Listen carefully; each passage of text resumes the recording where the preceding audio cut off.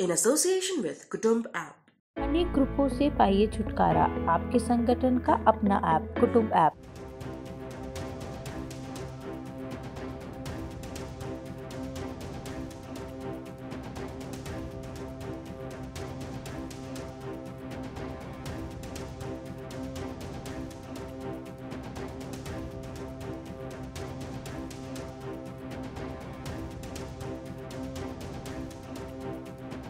मुख्यमंत्री नीतीश कुमार कोरोना संक्रमण की चपेट में है।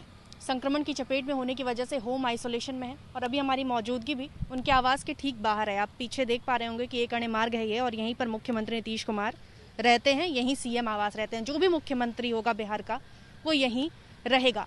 लेकिन कुछ खबरें ये दावा कर रही हैं कि खरमास के बाद, यानी जब मुख्यमंत्री नीतीश कुमार सही सलामत हो जाएँगे, कोरोना संक्रमण की चपेट से बाहर आ जाएँगे, तब वो इस आवाज़ से निकलकर सात नंबर के बंगले में शिफ्ट हो सकते हैं।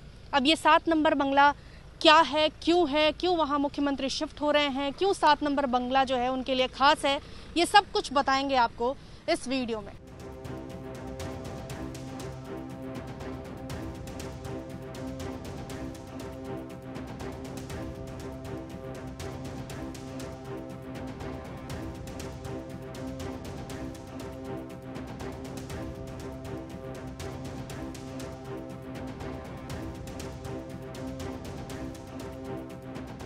सर्कुलर रोड का यही वो सात नंबर बंगला है जिसकी हर तरफ़ चर्चा है और कुछ दिनों से खबरें ये ज़ोर पकड़ रही हैं कि मुख्यमंत्री नीतीश कुमार खरमास के बाद यहाँ शिफ्ट हो सकते हैं। फ़िलहाल मुख्यमंत्री नीतीश कुमार को कोरोना संक्रमण है, कोरोना की चपेट में है, लेकिन जैसे ही उनकी स्थिति सुधरेगी और वो कोरोना की संक्रमण के चपेट से बाहर आएँगे, वैसे ही खबर ये बताई जा रही है कि वो इस सात नंबर बंगले में शिफ्ट हो सकते हैं। सात नंबर मुख्यमंत्री के लिए काफ़ी लकी माना गया है। मुख्यमंत्री नीतीश कुमार की गाड़ी का भी नंबर जो नंबर है, उसमें सात अंक है।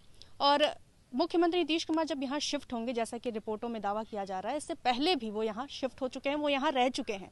बात साल 2014 की है, जब मुख्यमंत्री नीतीश कुमार ने अपने पद से इस्तीफा दिया था और बतौर पूर्व मुख्यमंत्री उन्हें ये बंगला अलॉट हुआ था। तब मुख्यमंत्री के पद पर जीतन राम मांझी को मुख्यमंत्री बनाया गया था, नीतीश कुमार ने उन्हें मुख्यमंत्री बनाया। और जब मुख्यमंत्री नीतीश कुमार इस बंगले में शिफ्ट हुए तो बिहार की राजनीति में भी बड़ा उथल उथल पुथल देखने को मिला। महागठबंधन की पूरी रणनीति यहीं बनाई गई।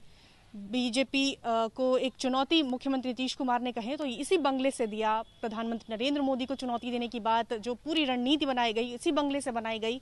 तब जेडीयू, आरजेडी, कांग्रेस, जो मिलकर महागठबंधन बना, वो इसी बंगले से बनाया गया, यानी इस बंगले का जो महत्व है, इस बंगले का जो रोल है, वो काफ़ी ज़्यादा रहा।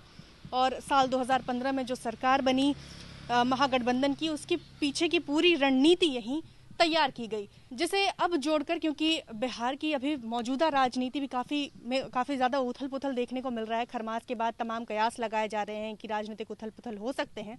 ऐसे में मुख्यमंत्री के यहाँ शिफ्ट होने के बाद जब से तूल पकड़ने लगी है, तब से राजनीतिक रूप से भी इसे देखा जा रहा है।